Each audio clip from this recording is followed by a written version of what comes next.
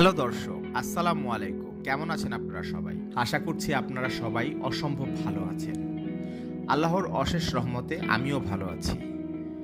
আজ আমি আলোচনা করব কীভাবে দ্য বাহমাস থেকে বাংলাদেশি বা ইন্ডিয়ানরা ইউএসএ বা আমেরিকাতে যেতে পারবেন।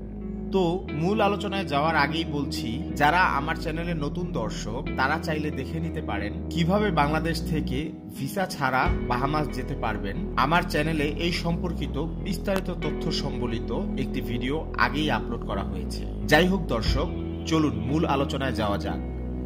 যারা বাংলাদেশ বা ইন্ডিয়া থেকে বাহামাস গিয়ে বাড়ি বা কোনো প্রপার্টিজ কিনেছেন, কেনার পরে প্রপার্টি ওনার কার্ড পেয়েছেন বা বিজনেস রেজিস্ট্রেশন করে টেম্পোরারি বা পারমানেন্ট রেসিডেন্ট পারমিট পেয়েছেন অথবা কোনো ওয়ার্ক পারমিটে আছেন। বর্ণিত যে কোনো একটি পারমিট যদি আপনি হোল্ড করে থাকেন আই মিন যদি আপনার থেকে থাকে তাহলে আপনিও চাইলে অবকাশ যাপনের উদ্দেশ্যে যেতে পারেন ইউএসএ। তবে আপনি ভিসা ছাড়া যেতে পারবেন না, ভিজিট ভিসা নিয়ে তারপর যেতে হবে। এখন অনেকের মনেই হয়তোবা এই প্রশ্নটি এসেছে যে ভিসা নিয়েই যদি যেতে হয়, তাহলে আর বাহামা এসে এত কাঠখড় পুড়িয়ে দরকার কি? তাহলে তো দেশে থেকেই যেতে পারতাম।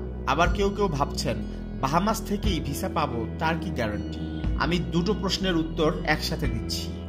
যারা প্রপার্টি ওনার কার্ড পেয়েছেন বা বিজনেস রেজিস্ট্রেশন করে টেম্পোরারি বা পার্মানেন্ট রেসিডেন্ট পারমিট পেয়েছেন অথবা কোনো ওয়ার্ক পারমিটে আছেন, তাদেরকে বলছি, যদিও ইউএস এর ভিসার গ্যারান্টি কেউ দিতে পারে না, তাও বলছি, বর্ণিত কোনো একটি লিগাল স্ট্যাটাস যদি আপনার থেকে থাকে, তাহলে আপনার ইউএস এর ভিসা পাওয়ার সম্ভাবনা নব্বই শতাংশেরও বেশি।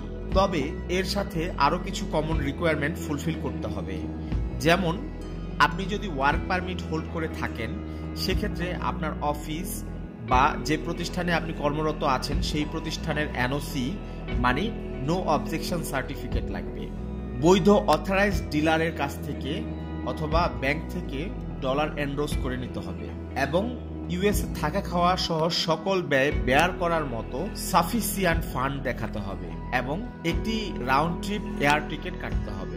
ইউএসএ যেখানে গিয়ে অবস্থান করবেন, তার একটা ডকুমেন্টস লাগবে। ধরে নেন, হোটেলে থাকবেন। সেক্ষেত্রে হোটেল রুম বুকিং এর পেপার্স লাগবে। এসব পেপার্স সব থাকলে একশো পার্সেন্ট নিশ্চিত আপনি ইউএস এর ভ্রমণ ভিসা পাবেন। প্রপার্টি ওনার কার্ড হোল্ডারদের জন্য শুধু ওয়ার্ক পারমিটের পরিবর্তে কমপক্ষে ছয় মাসের মেয়াদ আছে, এমন প্রপার্টি ওনার কার্ড থাকতে হবে। এনওসি এই ক্ষেত্রে প্রযোজ্য নয়। তার মানে প্রপার্টি ওনার কার্ড হোল্ডারদের জন্য এনওসি লাগবে না। বাকি সব রিকোয়ারমেন্ট একই থাকবে। রেসিডেন্ট পারমিট হোল্ডারদের জন্য ভিসা পাওয়ার possibility more than hundred percent তারপরেও ফর্মালিটি মেনটেন করতে হবে। ওয়ার্ক পারমিট এবং এনওসির জায়গায় তার রেসিডেন্ট পারমিট সাবমিট করলেই হবে। এবং বাকি সকল রিকোয়ারমেন্ট অপরিবর্তিত থাকবে। আর যারা নাগরিকত্ব পেয়ে গেছেন, তাদের জন্য ইউএসএ যাওয়া খুব সহজ। তারা যখন তখন চাইলে ইউএসএ যেতে পারবেন। এর জন্য কোনো প্রকার ভিসা ট্যুরিস্ট কার্ড বা কোনো অনুমতিপত্র লাগে না।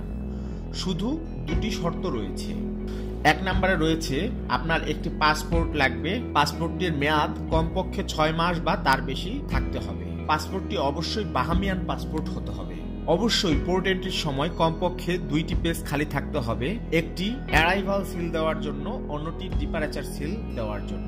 দ্বিতীয়ত যা করতে হবে তা হলো ইউএস এর নাগরিকরা ফেরি বা বোটে চড়ে বাহামাসে আসতে পারলেও বাহামিয়ানরা নৌপথে ইউএসএ যেতে পারবে না।